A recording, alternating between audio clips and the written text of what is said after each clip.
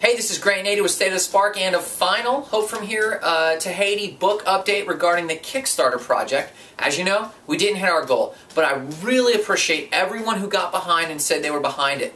I also appreciate everyone who followed up with me after the project ended uh, unsuccessfully on Kickstarter and said you'd still get behind the book.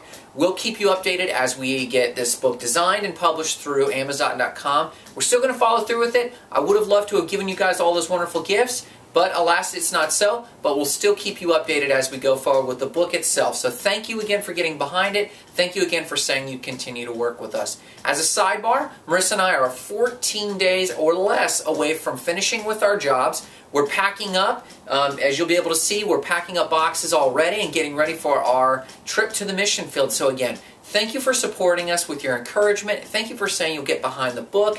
Thank you for saying you'll stay uh, backed behind the book as we move forward from here. So we'll keep you updated and we'll talk to you soon. Thanks.